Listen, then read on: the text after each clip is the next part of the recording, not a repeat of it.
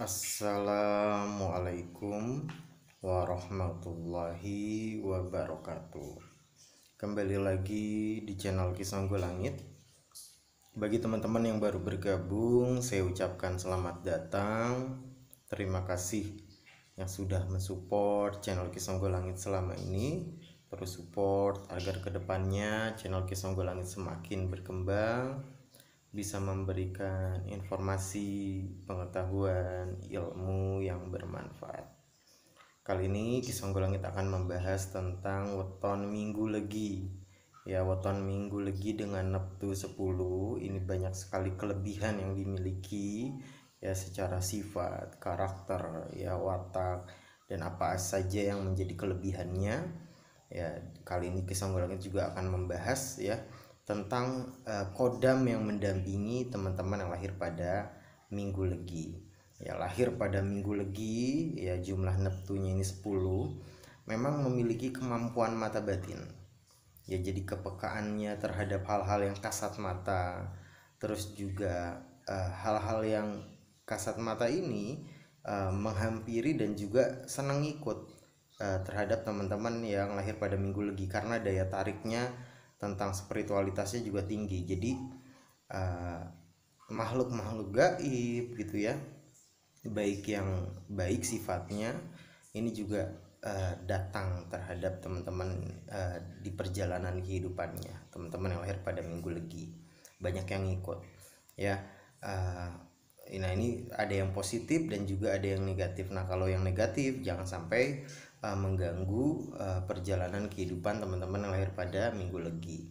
Nah, kodam salah satu kodam yang mendampingi yang menjaga kelahiran minggu legi ini adalah kodam keraputi Hanoman. Ya di mana uh, Hanoman ini ya, kodam keraputi Hanoman ini sakti mandraguna dan fungsinya ya tujuannya adalah menjaga menjaga teman-teman yang lahir pada minggu legi ini dari gangguan-gangguan gaib gitu ya baik secara sadar maupun sedang di alam bawah sadar sedang tidur gitu ya.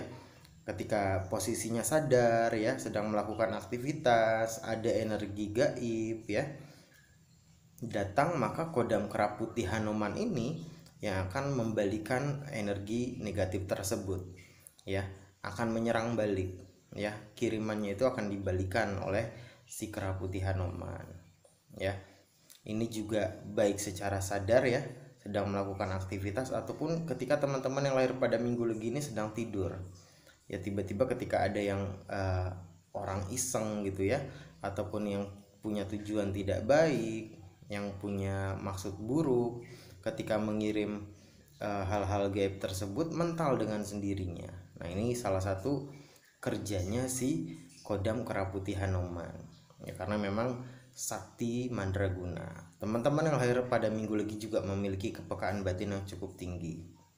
Jadi ketika berada di suatu tempat, ini feelingnya kuat, bahkan bisa menangkap, memvisualisasikan eh, hal-hal uh, gaib ini di penglihatan teman-teman yang lahir pada minggu lagi. Ya kemampuannya juga dalam mempelajari ilmu dengan mudah gitu ya. Uh, ketika ada ilmu baru itu cepat nangkep, cepat menguasai. Nah maka kepintarannya ini menjadikan orang-orang yang di sekitarnya ini uh, minta nasihat, minta wejangan ya. Karena tempatnya orang dalam mencari ilmu terhadap teman-teman yang lahir pada minggu legi. Menjadi sumber ilmu pengetahuan bagi orang-orang yang ada di sekitarnya. Baik ilmu pengetahuan umum ataupun ilmu spiritualitas. Ya teman-teman yang lahir pada minggu legi ini sadar akan pentingnya uh, agama ilmu agama dalam perjalanan kehidupan ya, ya. selain kepintarannya ya ilmu baru dapat dikuasai dengan mudahnya. Banyak hal-hal yang uh, memang ahli gitu ya. Teman-teman yang lahir pada minggu lagi ini ahli di beberapa bidang. Dan ketika ini dijadikan sebagai upaya mencari sarana penunjang kehidupan ya mencari rezeki ini bisa memanfaatkan kebisaannya yang banyak ini menjadi pundi-pundi keuangan ya karena teman-teman yang lahir pada minggu legi ini e, banyak sekali kebisaannya ahli di berbagai bidang ya. Misalnya tetap bekerja tapi ada usaha. Punya usaha nggak cuma satu ya karena kebisaannya banyak. Banyak orang-orang di sekitarnya juga mengagumi ya. Teman-teman yang lahir pada minggu legi ini menjadi panutan ya. Menjadi uh, contoh bagi orang-orang yang di sekitarnya. Karena juga pinter gitu ya pandai dalam memimpin ya memiliki jiwa leadership yang kuat ya jiwa kepemimpinan yang tinggi maka bisa menjadi atasan. Dan ketika menjadi atasan itu menjadi contoh dan panutan bawahannya. Di pekerjaan bisa menjadi contoh dan panutan teman-teman yang lain ya. Pemberani teman-teman yang lahir pada minggu lagi ini pemberani tidak kenal takut apalagi uh, berada dalam kebenaran gitu ya jadi tidak takut oleh siapa pun.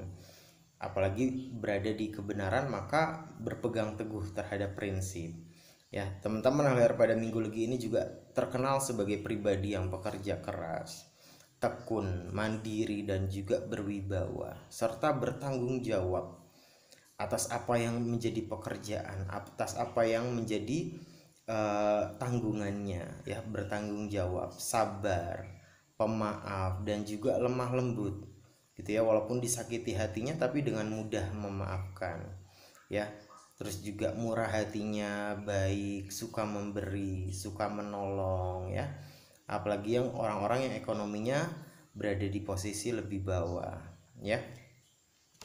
Bisa menjadi teman dan sahabat yang baik. Karena tem, uh, yang lahir pada minggu legi ini mampu mendengarkan dengan baik ya. Jadi banyak orang yang pengen jadi sahabat pengen jadi temannya dan ketika teman-temannya sedang dalam masalah sahabatnya ataupun keluarganya sedang dalam masalah maka teman-teman yang lahir pada minggu legi ini pasang badan untuk melindungi orang-orang yang dicintai ya.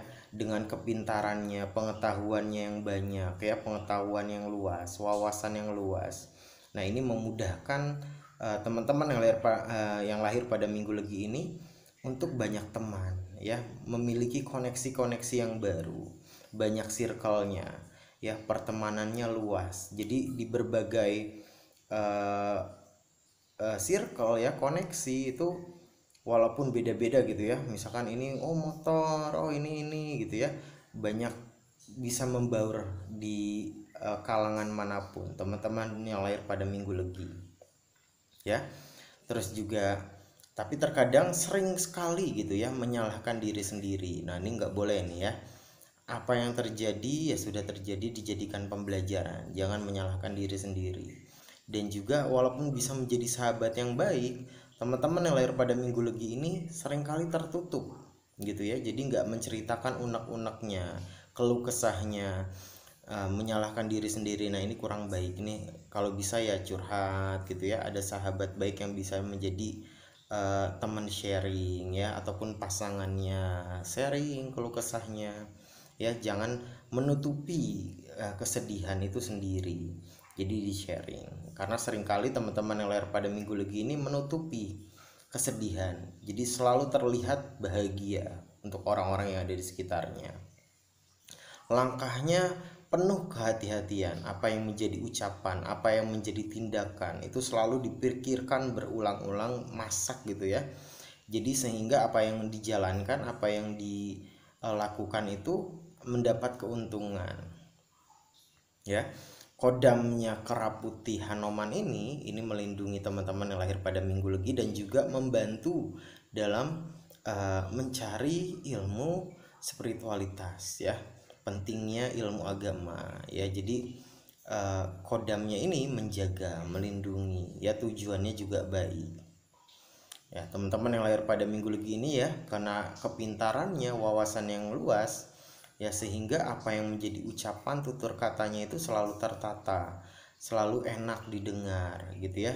Bicaranya penuh isi penuh makna. Jadi sehingga bisa memberikan motivasi bagi orang-orang yang ada di sekitarnya nah banyak orang-orang salah paham gitu ya. Banyak orang-orang tuh menganggap uh, negatif. Nah ini jangan sampai terpancing emosinya jangan sampai terpancing amarahnya ya. Ya sudah dijauhi orang-orang yang mungkin uh, tidak bisa menilai teman-teman yang lahir pada minggu legi ini sisi positifnya.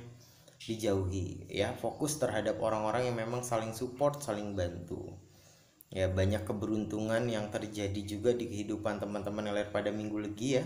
Banyak bejoknya banyak uh, untungnya banyak keberuntungan tapi juga banyak apesnya. Maka harus hati-hati. Jangan mudah uh, percaya jangan mudah uh, gegabah gitu ya dalam keputusan. Nah uh, pemikiran ya dengan ke, uh, kepintarannya dengan wawasan yang luas terkadang juga overthinking berpikir yang terlalu berlebihan khawatir yang berlebihan. Nah ini jangan sampai ya uh, takut melangkah nanti di, kedep, di kemudian hari. Jadi berpikir boleh tapi jangan terlalu difikirkan ya jalani dulu dengan kebisaan dengan kepintarannya dengan wawasan yang luas insya Allah.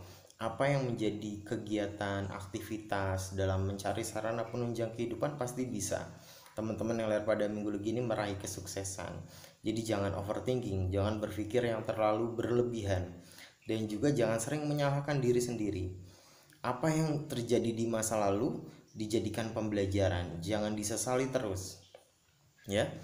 Nah, pekerjaan yang cocok bagi teman-teman yang lahir pada minggu legi ini ya salah satunya adalah berwirausaha, ya berdagang, ya karena memang uh, bakat dalam mensukseskan bidang usaha ya sales penjualan karena pinter ngomong gitu ya banyak temen. Ya penjualan itu bagus. Marketing gitu ya makelar distributor ya. Dan juga dengan wawasan yang luas teman-teman lahir pada minggu lagi ini cocok dalam menurunkan ilmu menjadi seorang guru. Baik guru agama ya guru pendidikan umum ataupun guru basket guru apa namanya piano, guru gitar ataupun pokoknya pandai dalam menurunkan ilmu. Jadi berbakat sebagai seorang guru, guru apa pun itu ya, dosen, peneliti ya, dokter ya karena memang pintar dan juga pandai dalam berkomunikasi. Ya, resepsionis, sekretaris itu juga cocok ya bagi teman-teman yang pada minggu lagi karena memang pintar dalam uh, bertutur kata, berkomunikasi gitu ya. Terus juga penjualan juga itu cocok ya. Maka ketika usaha sendiri itu juga bisa maju dan juga bisa menjalankan berbagai hal dalam waktu yang bersamaan. Dengan kebisaannya, keahliannya yang banyak, insya Allah teman-teman yang lahir pada minggu lagi ini mampu uh, menciptakan pundi-pundi keuangan dengan kemampuan yang dimiliki. Jadi banyak bisanya. Teman-teman yang lahir pada minggu lagi boleh sering cerita di kolom komentar tentang perjalanan kehidupan, perjalanan asmara ataupun perjalanan spiritualnya yang mungkin bisa bermanfaat bagi kisah langit dan teman-teman yang lain.